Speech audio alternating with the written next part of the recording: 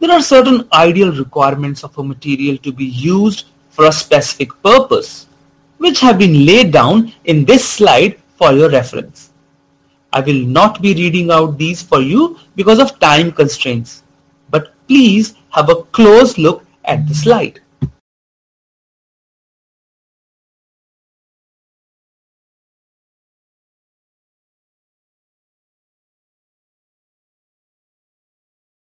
Understanding the physical properties of a post is something which we almost neglect reading about. But one physical property which in specific I want to discuss with you all is the modulus of elasticity. This property determines the degree of elasticity or rigidity of a material. Ideally speaking, the modulus of elasticity of a post should be as close as possible to that of dentine so that none of the two fractures. When you are using a metal post, since it is rigid than dentine, it may cause the fracture of dentine. On the other hand, the modulus of elasticity of a fiber post is almost similar to that of dentine. So, there is no fracture of dentine during function.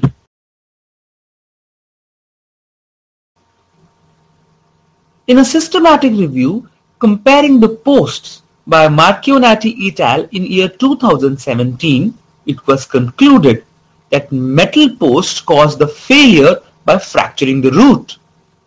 Hence, the use of metal posts should be done with great caution. Two studies I want to quote here which are highly clinically relevant. One by Uthappa et al. published in 2015 which concluded that more number of failures were seen in post and core cases in which metal post was used as compared to the fiber post. The second study by Olad et al. published in 2014 which concluded that fiber posts performed better than the metal posts. Let's talk about the classifications of post. Well, the posts can generally be declassified as the custom-made cast posts, which are made in the laboratories, and the prefabricated posts which are available in the market. The posts can also be classified as passive posts which are usually cemented into the post space and the active posts which are mostly screwed into the dentine. These screwed posts are certainly not recommended as they cause cracks in the dentine while screwing. The posts can also be categorized as metallic and non-metallic posts. Amongst the non-metallic posts, it is the fiber posts which are gaining a lot of popularity owing to their high success rate in clinical situations.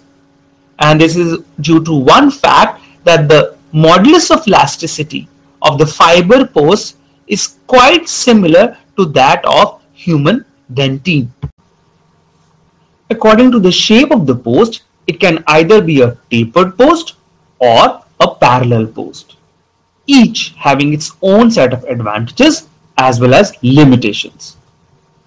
A tapered post placement preserves the radicular dentine during the post space preparation as both the post and the canal are tapered.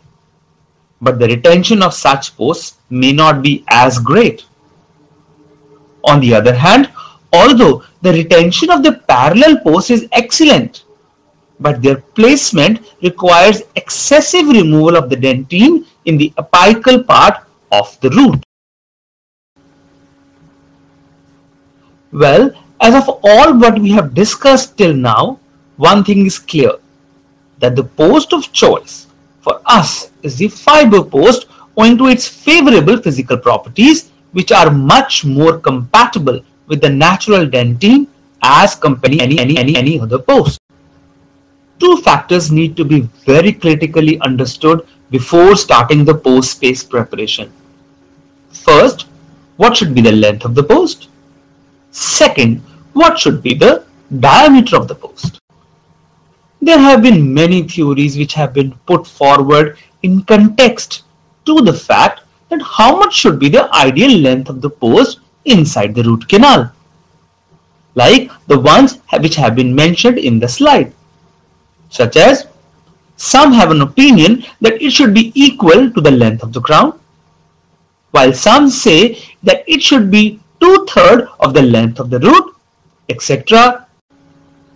However, when talking about fiber posts, concept which is widely accepted is that the post should be terminated halfway between the crestal bone and the root apex.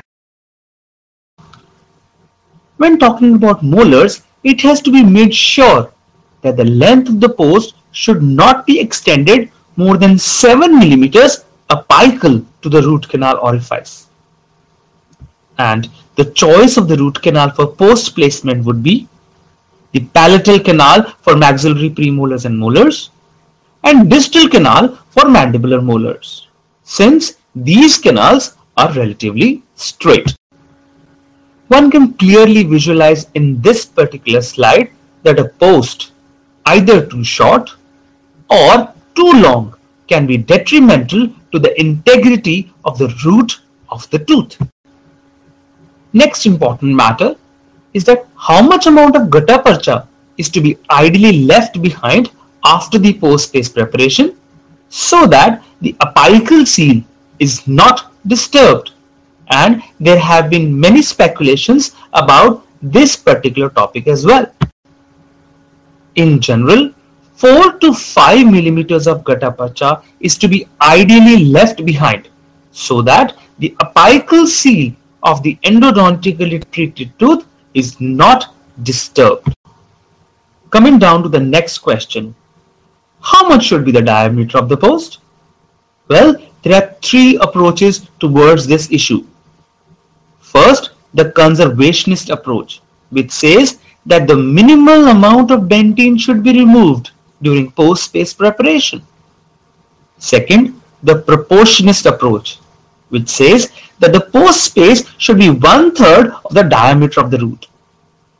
And third, the preservationist approach, which says come what may, a bare minimal amount of 1 millimeter of sound dentine should be present all around the circumference of the post. So far we have shortlisted on a couple of things. One, selection of fiber post. Second, what should be the length of the post. Third, what should be the diameter of the post and the use of cemented posts. But with which cement one should lute the post. Let's look out for the options. Option A is the use of GIC or zinc phosphate because they are always there in our clinics and we know that GIC bonds chemically to the dentine. Also, since we are using these materials since we started our dental practice, they are like just our first love. But friends, we all know that love is blind. And similarly, one must also understand the drawbacks of these conventional cements. The problem with zinc phosphate is that it binds only mechanically to everything. And the issue with our favorite glass ionomer cement is that it binds chemically only to the dentine, but just by a mechanical bond to the post. So what comes to our remedy? Well, the answer is that it is recommended to use dual cure resins for luting of the fiber posts. And when using these luting resins, it is advocated to use non-rinse conditioners for the conditioning of dentine and chemically cured dentine bonding agent. two features which must be given due consideration when performing post-and-core procedure are the resistance triad and the retention triad. Triad, as the name suggests, means three factors, each for establishing resistance and retention form to ensure the success of post and core. Retention of a post can be gained in three ways. First method is to use post, which we have already discussed. Second is the design of the post, whether to use a parallel post or to use a tapered post. This point also we have discussed already, but at that time we could not come to a definite conclusion. So we're going to talk about this in detail now. A tapered post saves dentine, but has less retention.